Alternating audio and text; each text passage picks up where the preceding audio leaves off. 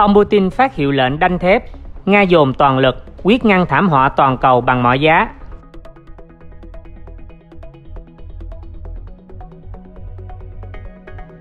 Gần đây, giá dầu đã leo thang và tăng lên mức cao nhất kể từ năm 2014 đến nay.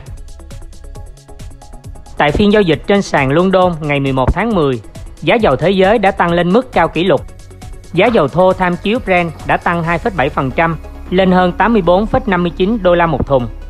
Đồng thời, giá dầu WTI của Mỹ đã tăng 3,6% lên 82,17 đô la một thùng. Riêng từ đầu tháng 10 năm 2021 đến nay, giá dầu trên thị trường thế giới đã tăng từ 8 đến 10%. Đợt tăng giá lần này giống như tháng 10 năm 2014. Cơ quan năng lượng quốc tế IEA và Goldman Sachs dự đoán từ nay đến cuối năm, giá dầu thô trên thế giới sẽ tiếp tục tăng mạnh. Giá dầu Brent có thể vượt mốc 87 đô la một thùng. Nhiều nhà kinh tế không loại trừ khả năng giá sẽ tăng lên 90 đến 100 đô la một thùng. Ngày 13 tháng 10 năm 2021, tại phiên họp toàn thể của diễn đàn tuần lễ năng lượng Nga, Tổng thống Vladimir Putin cho rằng giá dầu thô sẽ tiếp tục tăng mạnh và có thể đạt ngưỡng 100 đô la một thùng vào cuối năm nay. Nguyên nhân dẫn đến giá dầu tăng Giá dầu gần đây tăng mạnh liên quan đến một loạt yếu tố. Kinh tế thế giới bắt đầu phục hồi từ đại dịch Covid-19 dẫn đến nhu cầu dầu thô trên toàn cầu tăng, cũng như sự chuyển dịch của các ngành công nghiệp sử dụng khí đốt tự nhiên và than đá đắt tiền sang các sản phẩm dầu mỏ. Mặt khác, châu Âu đang đứng trước sự thiếu hụt khí đốt tự nhiên cho các nhà máy phát điện hoạt động do Nga và Na Uy không có khả năng đáp ứng nhu cầu, buộc phải chuyển sang sử dụng các sản phẩm dầu mỏ. Trong 6 tháng qua, chi phí khí đốt ở các nước châu Âu đã tăng lên nhiều lần và hiện gần chạm mốc khoảng 1,07 nghìn đô la trên 1 nghìn mét khối. Trong phiên giao dịch ngày 6 tháng 10 năm 2021, giá này đã tăng lên 2.000 đô la, cao nhất từ trước đến nay. Châu Âu trước đây phụ thuộc nhiều vào các nguồn năng lượng tái tạo, chủ yếu là điện gió, trong khi họ đóng cửa các nhà máy nhiệt điện chạy bằng than để bảo vệ môi trường. Tuy nhiên, mùa hè năm nay, do thời tiết khô ráo và lặng gió nên lượng điện phát ra rất hạn chế. Để khắc phục tình trạng thiếu điện, châu Âu phải mua khí đốt với giá cao và vẫn dựa vào dầu ma rút làm nhiên liệu dự phòng cho các nhà máy nhiệt điện truyền thống. Trong tình hình như vậy, châu Âu cần nhiều dầu hơn và nhu cầu tăng mạnh tất nhiên sẽ đẩy giá lên cao. Sự thiếu hụt nguồn cung dầu mỏ trên thị trường một phần lớn là do nguồn cung dầu mỏ từ Mỹ và các nước OPEC vẫn bị hạn chế, trong khi mức tiêu thụ nhiên liệu toàn cầu vẫn tăng lên đều đặn. Các nước OPEC vẫn thi hành chính sách giảm sản lượng, giữ nguyên các thỏa thuận đạt được tại cuộc họp cuối cùng vào ngày 2 tháng 7 năm 2021, chỉ tăng sản lượng 400.000 thùng một ngày, bắt đầu từ tháng 8 đến hết tháng 12 năm 2021. Số lượng này là không đáng kể để có thể làm thay đổi mạnh mẽ cán cân cung cầu khi nhu cầu năng lượng của thế giới tăng mạnh. Việc nhóm OPEC chậm gia tăng sản lượng dẫn đến lượng dầu thực sự được cung cấp ra thị trường ít hơn rất nhiều so với mức dự kiến. Ngoài ra, Quá trình phục hồi sản xuất dầu ở Mỹ diễn ra hết sức chậm chạp sau thảm họa của cơn bão Ida, cơn bão mạnh nhất trong vòng 170 năm qua đã nhấn chìm nhiều địa phương trên đất Mỹ. Theo ước tính mới nhất, hiện nay Mỹ đang sản xuất khoảng 11,3 triệu thùng một ngày và ngay cả trước cơn bão, con số này cũng chỉ ở mức 11,5 triệu thùng một ngày. Trước đó, sản lượng của Mỹ cũng đã tăng chậm hơn nhiều so với kỳ vọng của thị trường và sau thảm họa Ida, tình hình còn trở nên tồi tệ hơn dự trữ dầu toàn cầu giảm cũng đóng một vai trò quan trọng. Sự sụt giảm mạnh trong kho dự trữ dầu của Tổ chức Hợp tác và Phát triển Kinh tế OECD xuống mức thấp nhất kể từ năm 2015, góp phần không nhỏ vào việc làm lệch cán cân cung cầu dẫn đến giá cả leo thang. Giá dầu tăng ảnh hưởng tới kinh tế thế giới. Giá dầu tăng sẽ có những tác động to lớn đến nền kinh tế thế giới, tạo ra những thách thức mới trong chuỗi cung ứng và gia tăng áp lực lên các kế hoạch chuyển đổi năng lượng, cản trở sự phục hồi mong manh của chuỗi sản xuất toàn cầu sau đại dịch Covid-19, đặc biệt là những nước nhập khẩu dầu và nhóm nước có thu nhập thấp. Giá dầu, khí đốt và các nguồn năng lượng khác tăng đồng loạt, ảnh hưởng đến tất cả các ngành sản xuất và chuỗi cung ứng hàng hóa. Ngành luyện kim, chế tạo máy, hóa chất, ô tô, thực phẩm, dược phẩm, vân vân đều sẽ gặp khó khăn. Việc ngừng sản xuất hoặc giá cả tăng cao sẽ gây ra phản ứng dây chuyền lên các ngành công nghiệp khác và toàn bộ nền kinh tế. Giá điện tăng đã buộc nhiều ngành sản xuất tiêu thụ điện như luyện nhôm, phân bón vân vân phải đóng cửa và sắp tới các nhà máy luyện thép cũng khó có thể tiếp tục sản xuất. Sự suy giảm sản xuất sẽ dẫn đến giảm nguồn cung trên thị trường. Điều này chắc chắn sẽ ảnh hưởng đến lạm phát toàn cầu. Mùa đông chỉ mới bắt đầu, dự trữ than ở nhiều nước đang ở mức thấp nhất kỷ lục. Vì vậy, khả năng giải quyết cuộc khủng hoảng năng lượng trong tương lai gần là hết sức khó khăn. Chưa bao giờ giá dầu và khí đốt lại tăng cùng một lúc như hiện nay. Sự tăng giá này kéo theo giá các loại năng lượng, đặc biệt là giá điện tăng vọt. Hiện nay, nhiều nhà máy ở châu Âu, trong đó có luyện kim, công nghiệp hóa chất, sản xuất vật liệu xây dựng là những ngành bị ảnh hưởng nhiều nhất do sự gia tăng khủng khiếp của giá dầu, khí đốt, than đá và điện đã buộc phải tuyên bố phá sản hoặc đóng cửa. Đây mới chỉ là bước đầu trong một quá trình ảnh hưởng đến toàn bộ nền kinh tế thế giới. Ngành sản xuất phân bón, trong đó khí tự nhiên và điện là hai nhân tố quan trọng nhất cho quy trình sản xuất đã bị ảnh hưởng trước tiên. Công ty CF Industry của Mỹ, một trong những nhà sản xuất phân bón nitơ hàng đầu trên thế giới, đã tuyên bố ngừng hoạt động ở Anh. Zara International, nhà sản xuất phân bón lớn nhất châu Âu của Na Uy, đã buộc phải cắt giảm khoảng 40% sản lượng. Giữa tháng 10 năm 2021, các công ty sản xuất phân bón ở Đức, Áo, Ukraine và Lithuania cũng đã tuyên bố giảm sản lượng hoặc ngừng hoạt động hoàn toàn. Trung Quốc đã quyết định giảm xuất khẩu phân bón. Ngành luyện kim cũng bị ảnh hưởng nghiêm trọng. Một trong những công ty hàng đầu trên thế giới về luyện nhôm, ArcelorMittal đã phải tạm ngừng sản xuất tại một số nước ở châu Âu. Trước đó ít ngày, nhà máy duy nhất còn lại ở Hà Lan thuộc công ty Andel đã ngừng sản xuất nhôm do lượng điện năng cần thiết để sản xuất một tấn nhôm hiện nay tốn gần gấp đôi. Giá dầu, giá khí đốt tự nhiên tăng, kéo theo giá điện và một loạt nguyên liệu đầu vào tăng, dẫn đến sự tăng trưởng chậm lại của nền kinh tế toàn cầu do ảnh hưởng chi phí cao của các nguồn năng lượng. Ở cấp độ vĩ mô, chi phí năng lượng tăng liên tục buộc các nhà đầu tư phải cắt giảm các dự án và việc giảm đầu tư dẫn đến giảm động lực kinh tế hơn nữa. Theo ước tính của các chuyên gia kinh tế, việc giá dầu, giá khí đốt và năng lượng tăng thời gian tới có thể dẫn đến đợt suy thoái kinh tế mới. Tốc độ tăng trưởng GDP của các nền kinh tế lớn, đặc biệt là Mỹ, Liên minh châu Âu EU và Trung Quốc giảm khoảng 0,5 đến 1%. Tại Trung Quốc, chưa bao giờ xảy ra tình trạng cắt điện trên diện rộng như hiện nay, kể cả thủ đô Bắc Kinh do nhiều nhà máy điện phải đóng cửa.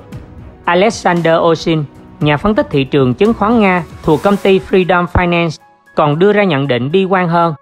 Ông cho đây mới chỉ là bước khởi đầu và sắp tới nếu giá dầu, khí đốt, điện và các tài nguyên khác tiếp tục tăng mạnh, có thể dẫn đến suy giảm GDP của các nền kinh tế hàng đầu này trong khoảng 5%. Nhiều người cho rằng các nước sản xuất dầu mỏ hàng đầu như Mỹ, Nga, Ả Rập Saudi, Nigeria, Iraq được thu về một khoản thu nhập lớn sẽ không bị tác động. Tuy nhiên, ảnh hưởng của lạm phát do giá dầu, khí đốt và điện tăng sẽ không bỏ qua bất cứ nước nào. Giá cả các sản phẩm công nghiệp của châu Âu như ô tô, máy móc, thiết bị, hóa chất cho các ngành dầu khí, công nghiệp, vân vân cũng tăng, không thể không ảnh hưởng tiêu cực đến giá hàng hóa nhập khẩu vào các nước này.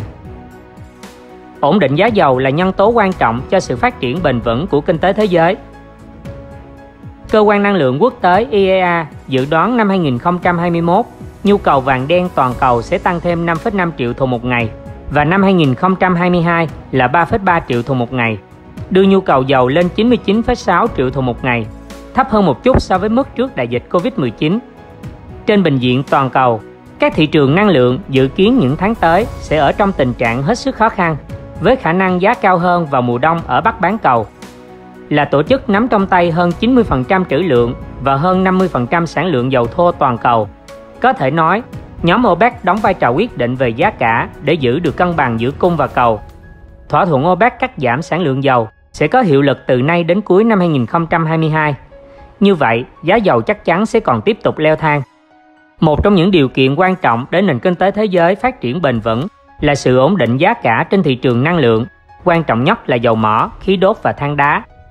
Tại diễn đàn tuần lễ năng lượng Nga mới đây, Tổng thống Nga Vladimir Putin nói rằng việc giá dầu nhảy vọt như hiện nay không phục vụ lợi ích của nền kinh tế toàn cầu, trong đó có nước Nga. Sự ổn định lâu dài của thị trường năng lượng là đặc biệt quan trọng trong tình hình khó khăn như hiện nay. Theo ông Putin, tất cả các bên liên quan cần nhất trí về các cơ chế toàn cầu để cân bằng thị trường năng lượng. Nga sẽ cố gắng hết sức để góp phần thị trường dầu mỏ và khí đốt. Moscow không cho phép giá cả tăng quá mạnh Việc vượt qua khủng hoảng nhanh chóng là điều không dễ dàng. Trong tương lai sẽ có thêm nhiều doanh nghiệp phá sản hoặc ngừng hoạt động. Các chuyên gia nhận định, Tình hình này khó có thể khắc phục được một sớm một chiều.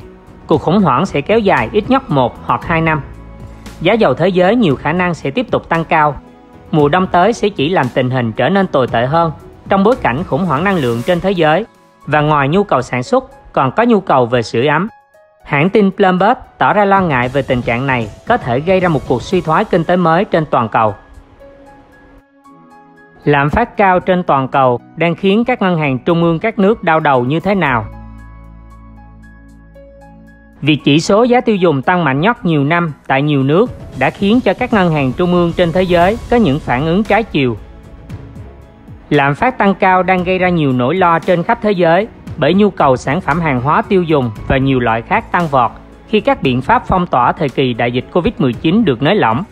Cùng lúc đó, nguồn cung có nhiều hạn chế và giá cả các sản phẩm năng lượng và hàng hóa nguyên liệu thô đồng loạt tăng. Theo nội dung bài báo mới được Wall Street Journal đăng tải, việc chỉ số giá tiêu dùng tăng mạnh nhất nhiều năm tại nhiều nước đã khiến cho các ngân hàng trung ương trên thế giới có những phản ứng khác nhau. Hơn 12 ngân hàng trung ương đã nâng lãi suất cơ bản đồng nội tệ. Tuy nhiên, hai ngân hàng trung ương có sức ảnh hưởng lớn nhất trên toàn cầu hiện giờ vẫn chưa hành động, bao gồm Cục Dự trữ Liên bang Mỹ Fed và Ngân hàng Trung ương châu Âu ECB.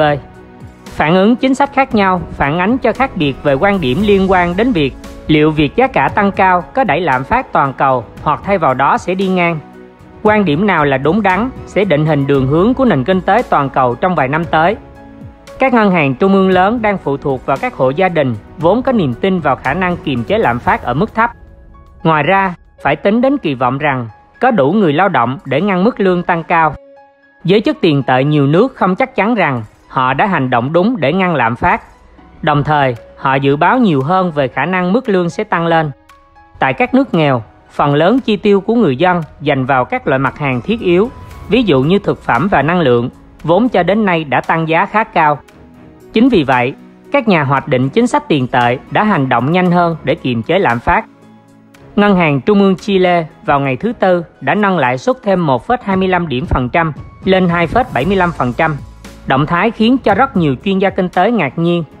Đây là lần nâng lãi suất mạnh tay nhất trong 20 năm của Ngân hàng Trung ương Chile. Từ tháng 3 năm 2021, giá cả bắt đầu tăng trên toàn thế giới và đẩy cao lạm phát đúng theo ngưỡng mà phần lớn người đứng đầu các ngân hàng trung ương trên thế giới kỳ vọng. Đến tháng 8, tỷ lệ lạm phát tại nhóm 20 nền kinh tế lớn nhất thế giới, nhóm đóng góp khoảng 4 phần 5 sản lượng kinh tế toàn cầu đã lên mức cao nhất trong hơn một thập kỷ. Lạm phát tăng cao trong thời gian gần đây có nguyên nhân kết hợp từ nhiều yếu tố mà người đứng đầu ngân hàng trung ương nhiều nước chưa từng thấy trước đây. Nhu cầu tiêu dùng đã hồi phục sớm hơn và mạnh hơn bình thường. Tuy nhiên, nguồn cung vẫn khó gặp cầu. Kỳ vọng về khả năng nhu cầu không tăng quá nhanh, rất ít nhà sản xuất đã tăng quy mô sản xuất trong thời kỳ đại dịch Covid-19. Cùng lúc đó, nhà máy tại nhiều khu vực trên thế giới đã chịu ảnh hưởng bởi các biện pháp hạn chế của chính phủ nhiều nước liên quan đến công việc và đi lại. Người đứng đầu Ngân hàng Trung ương nhóm nước G20 trong cuộc họp mới đây vào ngày thứ Tư nói rằng họ kỳ vọng các yếu tố cung cầu sẽ cân bằng trong những tháng tới, còn lạm phát sẽ hạ nhiệt. Một số ngân hàng trung ương đã nâng lãi suất chủ chốt, đặc biệt phải kể đến Brazil và Nga. Khi mà lạm phát tăng cao hơn và không có dấu hiệu ngừng lại, một số ngân hàng trung ương khác cũng đã hành động tương tự.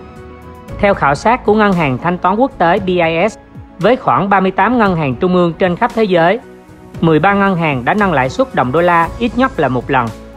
Vào tháng 10, ngân hàng trung ương tại New Zealand, Ba Lan và Romania nâng lãi suất cho vay lần đầu tiên tính từ khi đại dịch Covid-19 bắt đầu. Singapore cũng nâng lãi suất vào ngày thứ Năm vừa rồi. Đối với người đứng đầu các ngân hàng trung ương, mối lo lớn nhất chính là lạm phát trở nên kéo dài bởi các hộ gia đình đang bắt đầu tin rằng lạm phát cao sẽ dẫn đến lương tăng, còn phía doanh nghiệp cũng đang tính đến tăng kỳ vọng lạm phát và nâng giá bán hàng hóa